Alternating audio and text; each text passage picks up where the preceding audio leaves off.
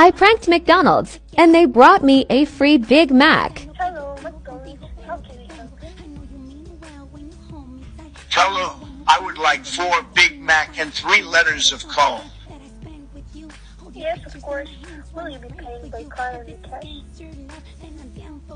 Don't you recognize me? It's Donald Trump.